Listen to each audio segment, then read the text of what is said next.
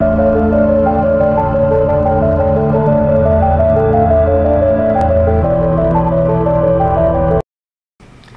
part of Module 1, it is important to understand the process of culturing microbes in the lab.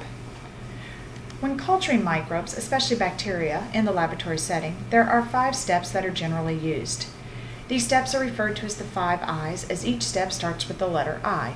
The five steps are inoculation, incubation, isolation, inspection, and identification.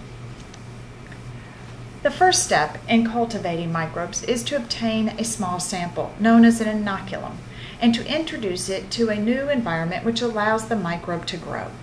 In the lab, we usually use a medium, such as an agar plate or a broth tube, to grow the microbe. This process is known as inoculation.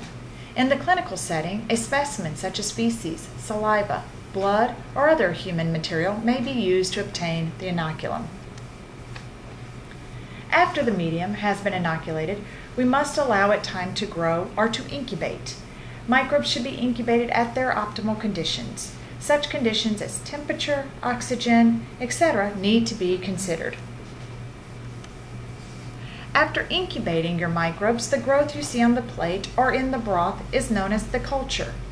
Cultures are classified by the number and type of species present. If the culture only has one type of microbe from a known origin, it is called a pure culture.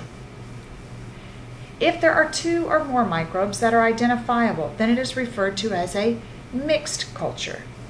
However, if a culture contains unknown or unwanted microbes, it is contaminated. When looking at a culture, Many times you need to separate one of the masses or groups of cells called a colony from the others.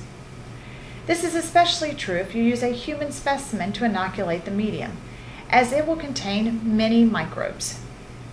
To separate a colony from a group is called isolation.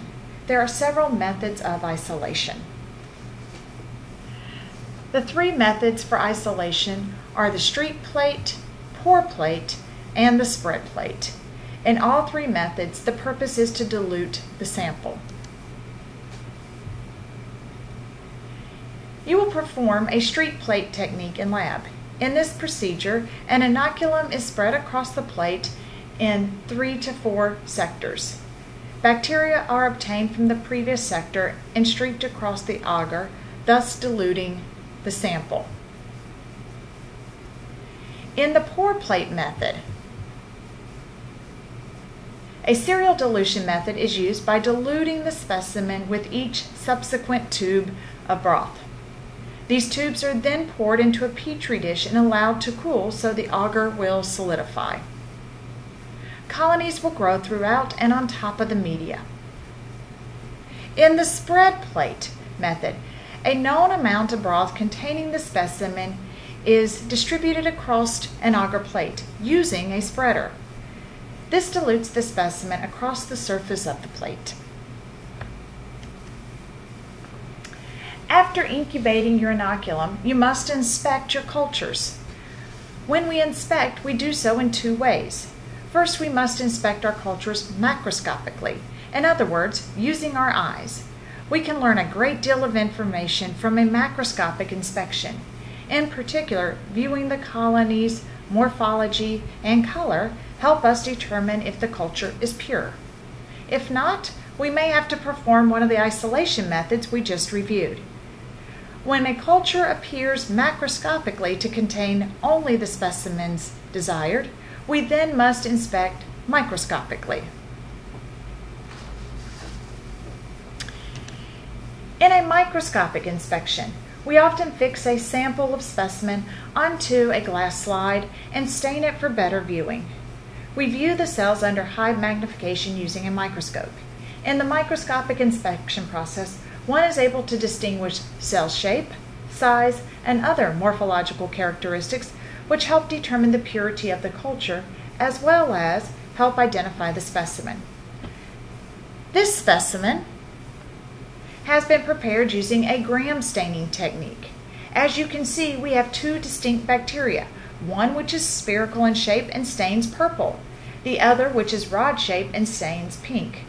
One can use the information to help determine if the sample needs to be further isolated, as well as learn more about the identity of the two bacteria.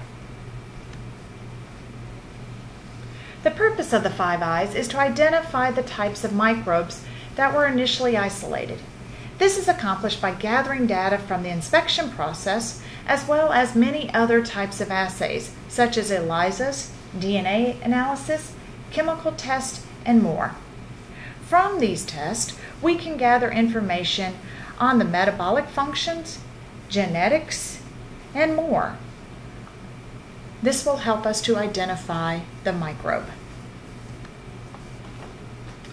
In review, the five steps for culturing microbes in a lab are Step 1 Inoculation, the process of introducing a microbe to a new environment. Step 2 Incubation, giving the microbe time to grow. Step 3 Isolation, the process of separating microbes from a mixed population. Step 4 Inspection, the process using both macroscopic and microscopic inspection methods. And finally, step 5 Identification, which is achieved by gathering the data from numerous assays to help determine the identity of the unknown microbes.